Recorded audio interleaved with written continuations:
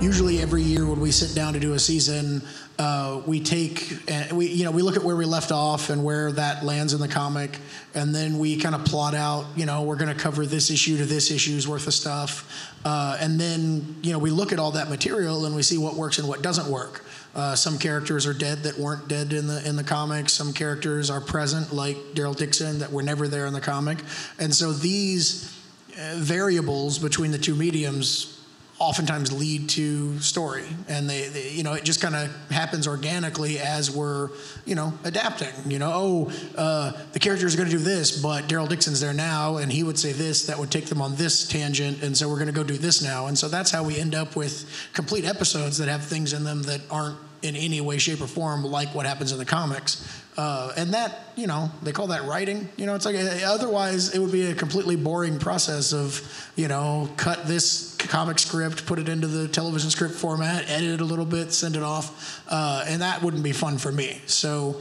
you know, really, it's you know, I, I, was one guy in a basement writing scripts and sending it off to Charlie Adlard in England making a comic. You know, it's two guys just doing stuff and being able to get in a room and put all the ideas on a board and take the collective you know experience of all the writers that are in the writers room and be able to you know move and shape and change and alter and enhance uh, you know is, is, is a really fun experience that i think leads to you know a great show